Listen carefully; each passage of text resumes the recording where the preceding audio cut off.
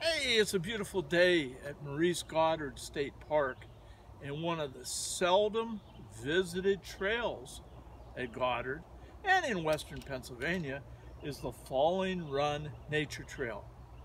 And what I would like to do today is to take you on a short, old-fashioned nature walk, the type of walk that parents used to take their children on and naturalists would take groups of visitors on. You're my visitor on today's nature walk. Now we're not going to go into a lot of detail on all the marvelous plants and animals that are out here, but we will talk about a number of them along the way. And I want to encourage you to come and walk this beautiful trail. There's waterfalls on the trail, diverse habitat.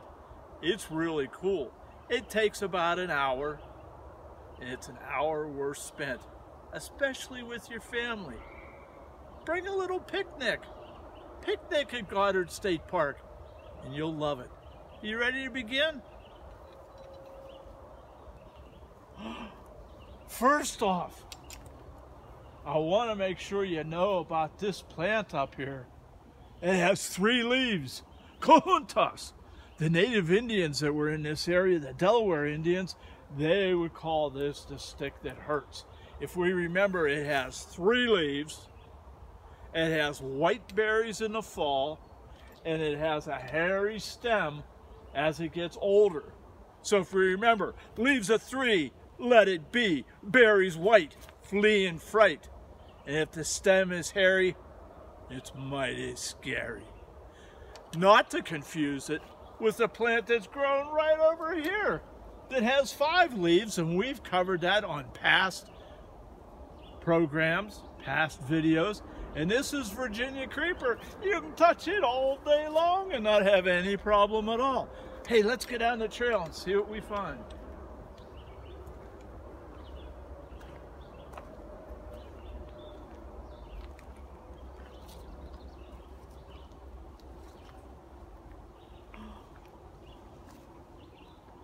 It's amazing. It's amazing how God puts things out there for us that are good, and sometimes they're close to the evil. Well, this plant right here, and I'm going to just snip it off for educational reasons. This plant right here is so succulent. When I say succulent, it means there's a lot of fluid in it. And if you were to get poison ivy, you would use this plant called jewelweed to get rid of the poison ivy. You crush up the plant, you get it all good and juicy, and you rub that on the poison ivy.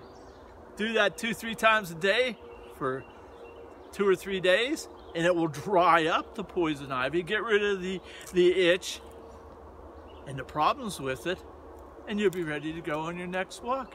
It's free. Some places charge for soaps and creams that have that ingredient in it. That's called jewelweed or spotted touch-me-not. Let's get down the trail and see what else we have.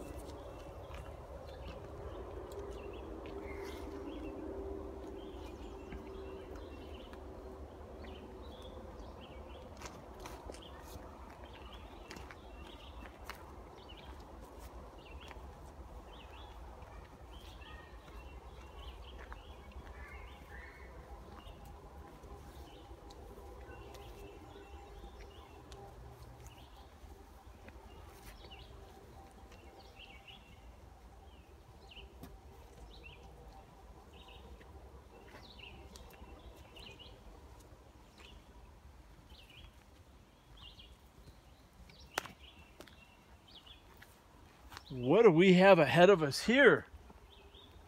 It's a historic site. Let's take a peek inside. Look right down here. There's water flowing through this foundation. If you come inside, you can see there's water flowing all through this structure. Let me tell you what it is. It's an old spring house. there's a natural spring right here. You could see the water. And there would be complete walls on this. There would be a roof on it. And back in the day when it was used, there would be milk in here and cheese in here and all the goodies that a family, a pioneer family, would need to survive. This was their refrigerator. Well, over the years, of course, the roof has collapsed in, but the spring is still here and it still has the potential. And the water temperature stays in the low 50 degrees year round. It's a great way to have refrigeration when you're back in a time we didn't have electricity. Some plants only grow in springs, such as watercress. And we do, down in along the stream here, we have watercress growing, natural watercress, which you can eat. Of course, the jewelweed plant to cure for poison ivy, oh, it grows all along this stream. And this is where life actually starts for this forest.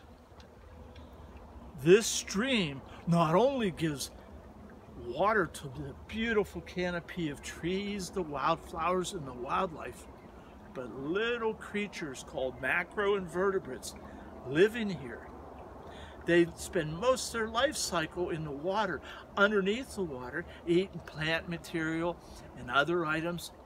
And then when it's time for them to mature, they come out of the water, most get wings, and they fly, and they're flying around looking for a boyfriend or girlfriend to mate so they can have an additional generation. They'll lay their eggs in the water, the whole cycle of life begins. That's what this forest is, is a cycle of life. The spring house is man's part of the cycle of life and how they survived in what was once the western Pennsylvania wilderness. Let's go on the trail and see what else we have. Now, as you're walking this trail, you got to watch your step. It's not paved. That's one reason I carry a walking stick. And also, I can point out plants and move plants out of the way. So Let's go up and see what we have.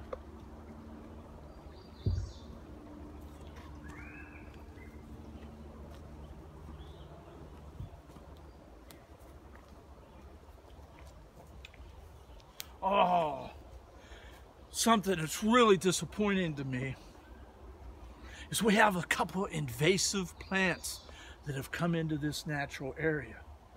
And one is right here. You see it's starting to get like a little berry on it or fruit. Well, actually, this plant is Multiflora rose. And it's a rose that we see. It bloomed about a month ago. And right now, it's right at the end of June. It bloomed about a month ago. It has a white flower and it will uh, get a berry, but the problem is it's taken over vast areas. And the problem with people and animals is this plant has big old thorns on it. If you walk through that, you'll get torn to shreds. Right across the trail is another plant we have right here. Now this plant also is an invader but it's one that you can eat. And this plant is called garlic mustard. Now it's starting to die back. It's very prolific in the early spring and it, you'll see it everywhere with all of its flowers. But what happens is the garlic mustard comes in, comes into an area and it actually outcompetes the native plants. One problem is it's having a major impact on one of our butterflies. The butterfly is the West Virginia white. West Virginia white only eats the leaves of plants from the mustard family. Well, lo and behold, garlic mustard is in the mustard family. Native mustards, they feed the, the, the, uh, the white no problem at all. But it seems that the garlic mustard has something in it that inhibits the Virginia white from reproducing. And it's killing and could make extinct West Virginia white butterfly.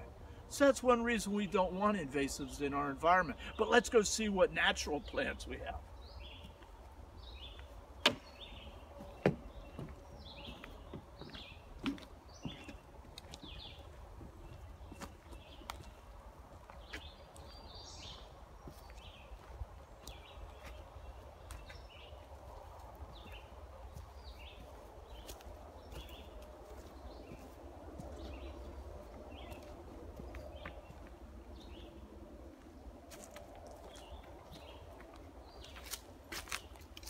As we walk along the trails, mostly all over the country, trails will be marked with paint signs. And if you follow the color of the paint, you should be able to follow the trail. The maps that you have in the state parks, state forests, national parks, Forest Service lands will have all the trails marked with the paint color that represents that trail. That way it keeps you from getting lost. And you don't have to worry about taking a GPS, but always good idea to bring a GPS if you do have one.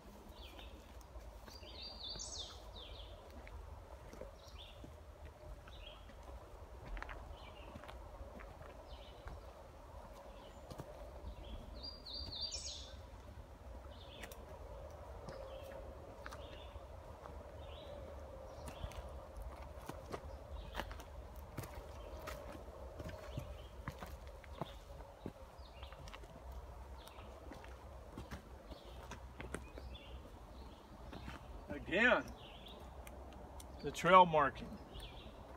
Keep us right on track of where we're going.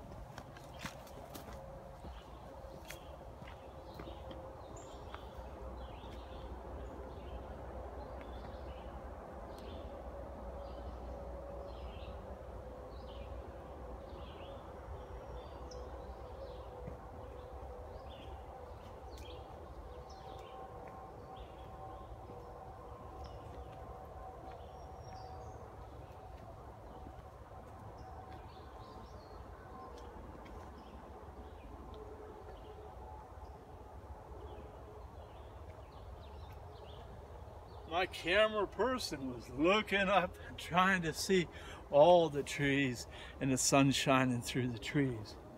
If we look ahead, you'll see evidence of what happened in the past. A windstorm came through this part of the forest and that tree was weak and it actually snapped it right over. Now that tree probably is going to completely die. But the good part is it will revert back into the soil and the cycle of life will continue again. Let's continue on.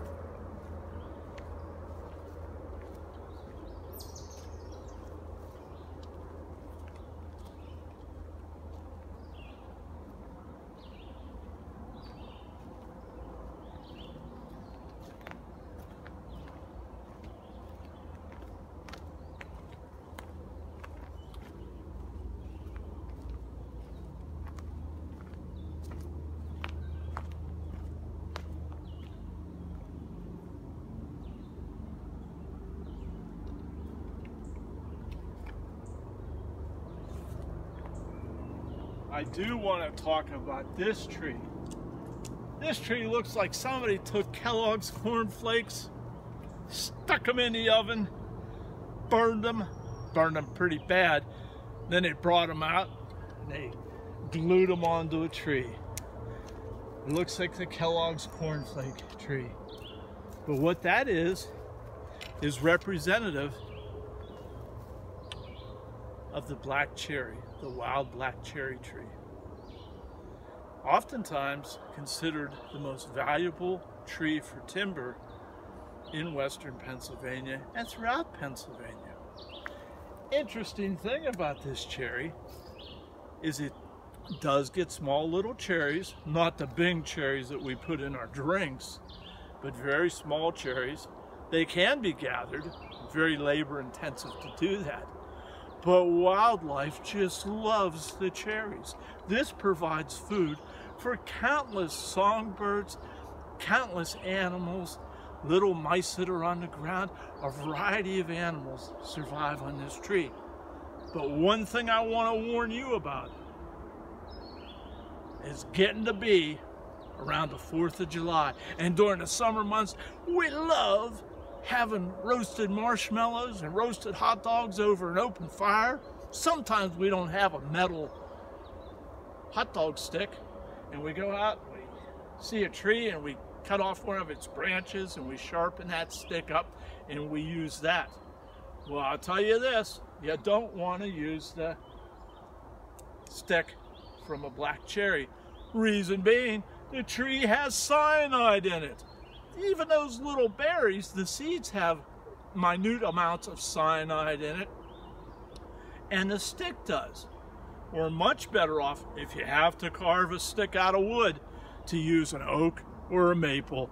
It's a lot healthier. Not that one, one use of one stick would kill you, but it might upset your stomach. Either that or the pound of chocolate and the pound of marshmallows together. Maybe that's what makes your stomach upset, but I don't recommend it.